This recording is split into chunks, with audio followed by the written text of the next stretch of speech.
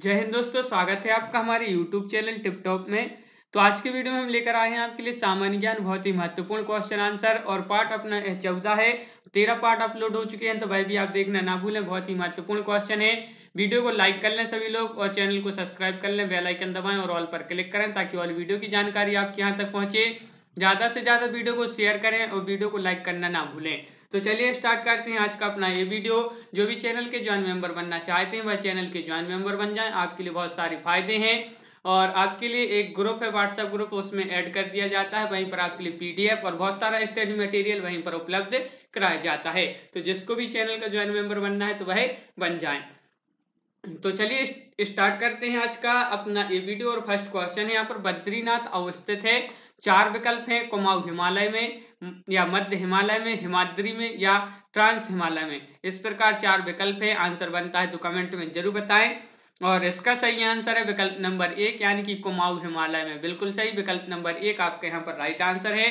बद्रीनाथ अथवा बद्रीनारायण मंदिर, भारतीय राज्य, उत्तराखंड के चमोली जनपद में अलकनंदा नदी के तट पर स्थित एक हिंदू मंदिर है।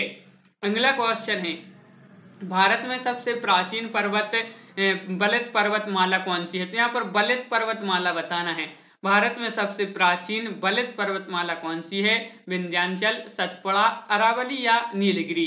तो क्वेश्चन नंबर दो का यहाँ पर जो राइट आंसर है, वह है आपका यहाँ पर विकल्प नंबर सी यानी कि अरावली। अरावली हाँ बिल्कुल सही, अरावली आपका यहाँ पर राइट आंसर होगा। अरावली भारत के पश्चिमी भाग राजस्थान में स्थित एक पर्वतमाला है। भारत की भौगोलिक संरचना में अरावली प्राचीन पर्वत है।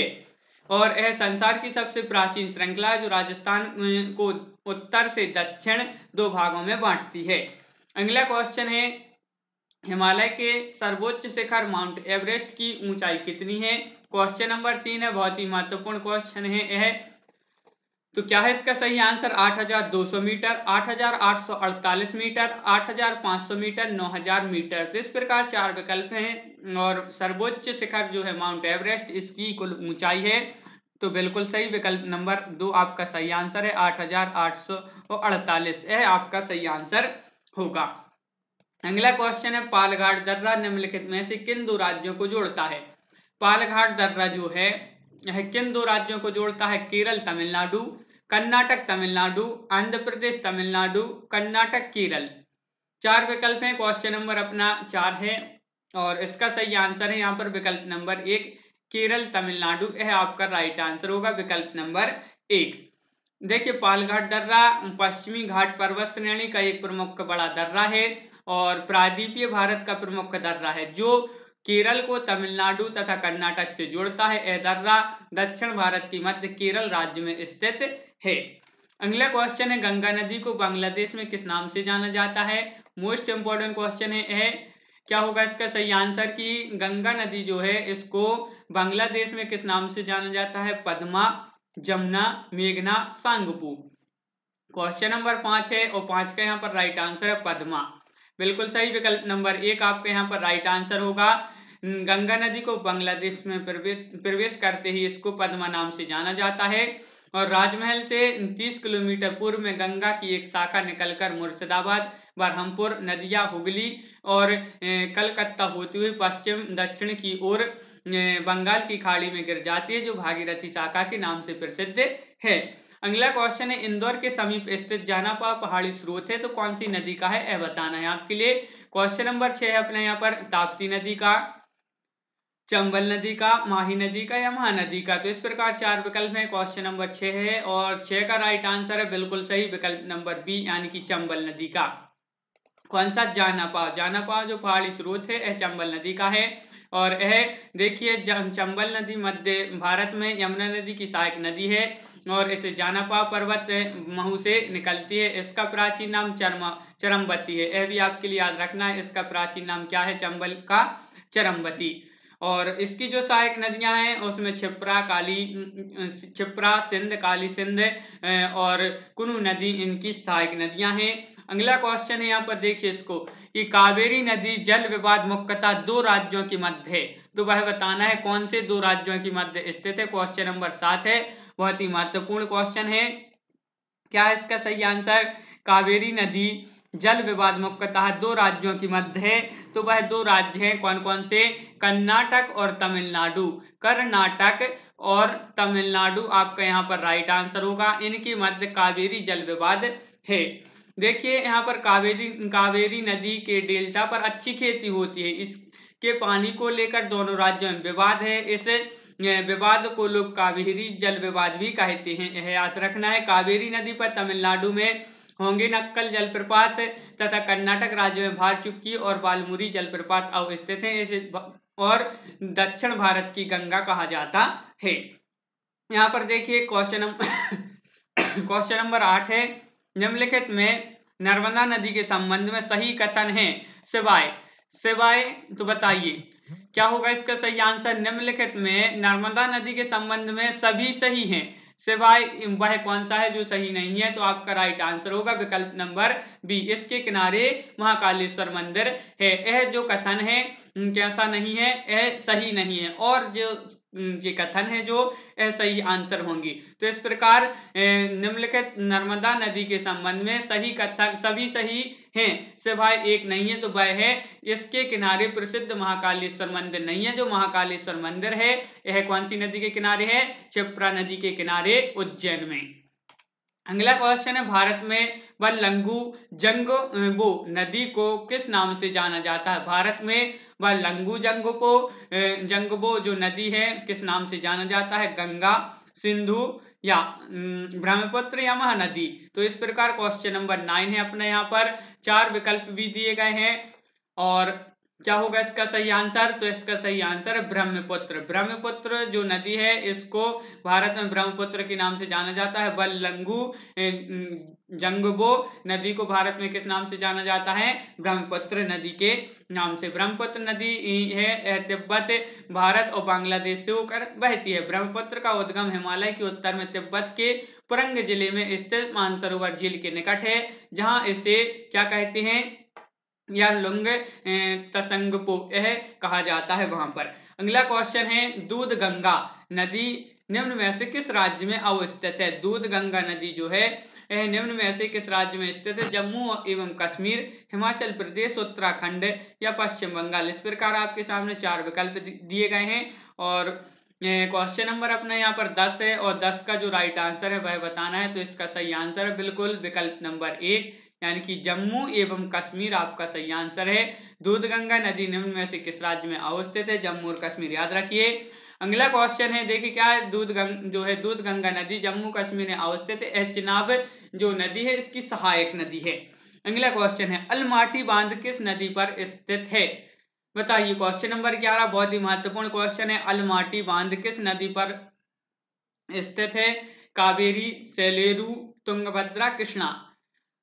तो क्वेश्चन नंबर ग्यारह का यहाँ पर सही आंसर है। वह है विकल्प नंबर आपका डी यहाँ पर बिल्कुल सही आंसर होगा। कृष्णा, याद रखिए, विकल्प नंबर डी आपका राइट आंसर है।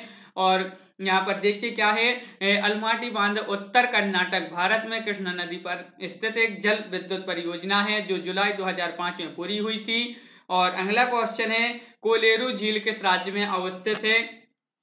बताइए क्वेश्चन नंबर अपना है यहाँ पर, बारह कोलेरू झील है, किस राज्य में है? केरल में, आंध्र प्रदेश में, तमिलनाडु में, उड़ीसा में। बहुत ही महत्वपूर्ण क्वेश्चन है, सभी लोग आंसर बताएँगे। क्वेश्चन नंबर बारह और बारह का राइट आंसर यहाँ पर, विकल्प नंबर बी यानी कि आंध्र प्रदेश है आपका राइट आंसर होगा आंध्र प्रदेश। हाँ कोलेरू झील एक मीठे पानी की झील है, आंध्र प्रदेश के कृष्णा ज़िले में स्थित है। यह एक अंडाकार छिचली झील है। वर्षा ऋतु में इसका क्षेत्रफल लगभग 160 वर्ग किलोमीटर हो जाता है। यह अब यह झील अनेक सौंतों द्वारा भरती जा रही है।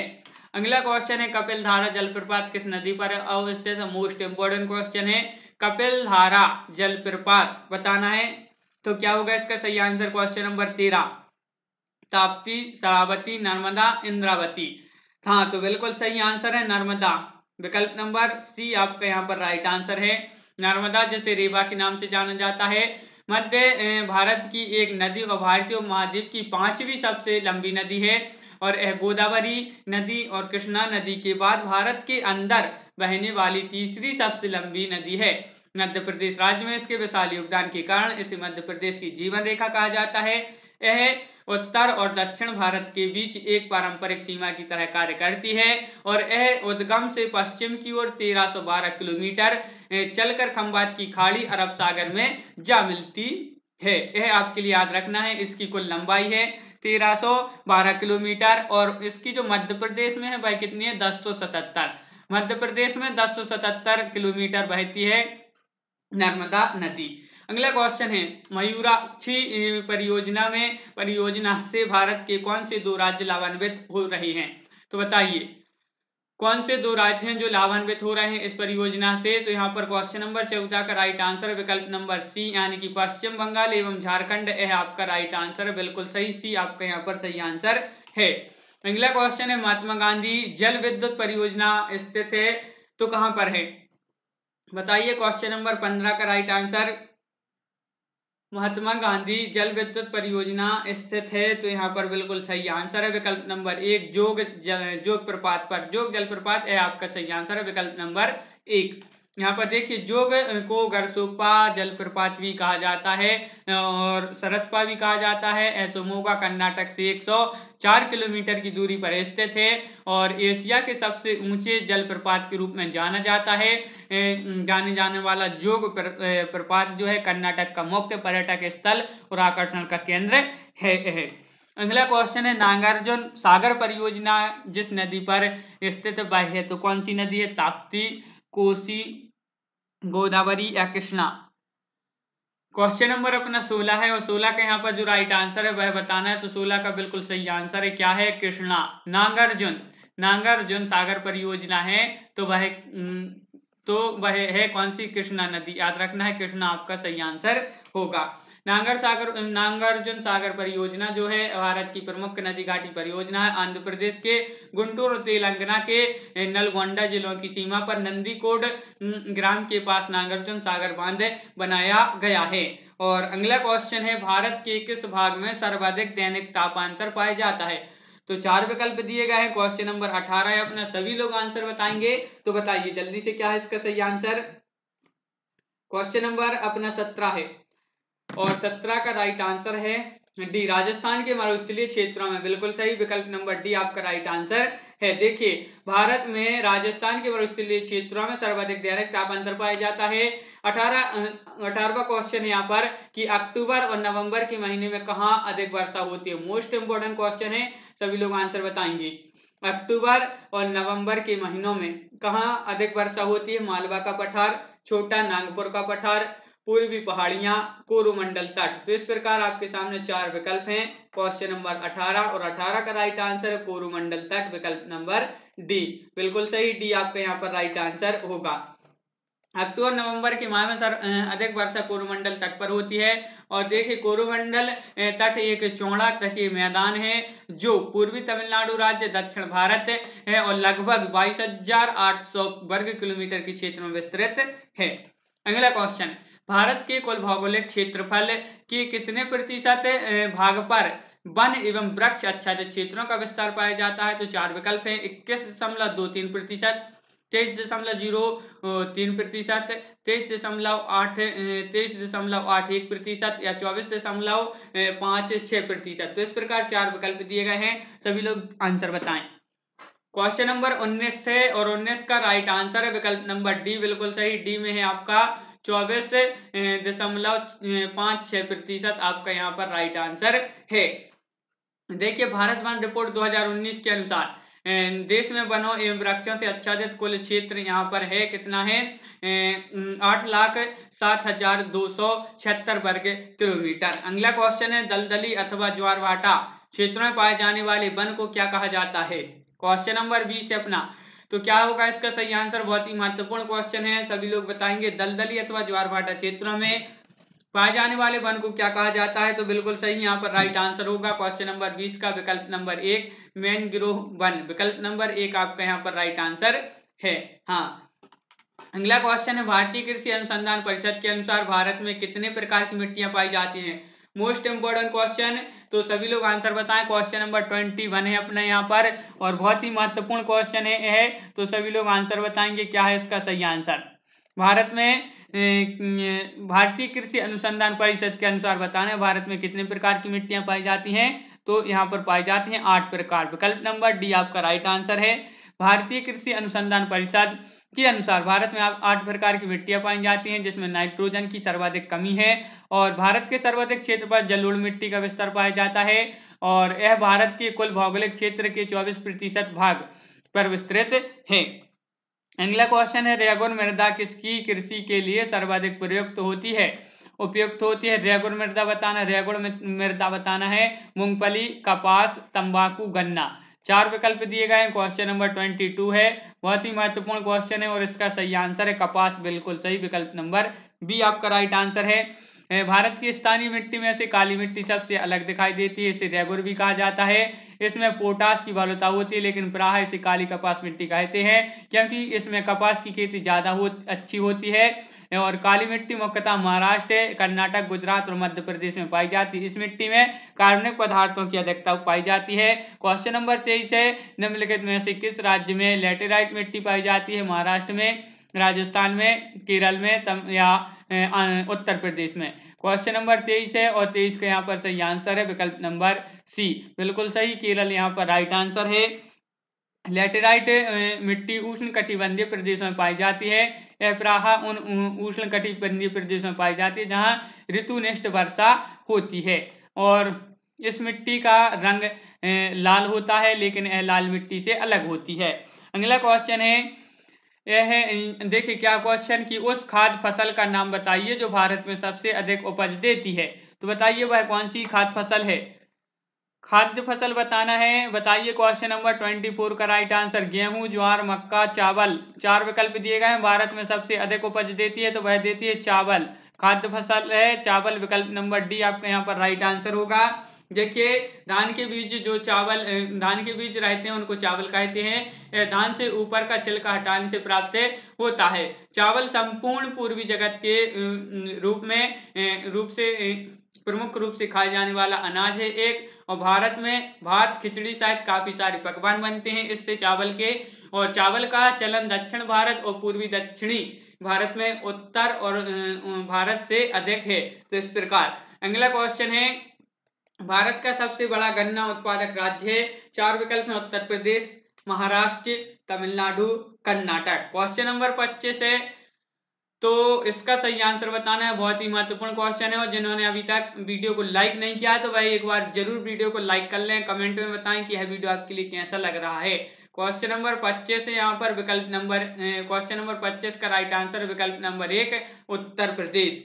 देखिए, उत्तर प्रदेश गन्ना का सबसे बड़ा उत्पादक है और गन्ना एक लंबी, अवधि, उच्च पानी और उच्च पोषक की तत्व की मांग करने वाली फ़सल है। ब्राज़ील के बाद भारत दुनिया का दूसरा सबसे बड़ा चीनी उत्पादक देश है। अगला क्वेश्चन निम्न में से कौन खरीफ की फ़सल नहीं है?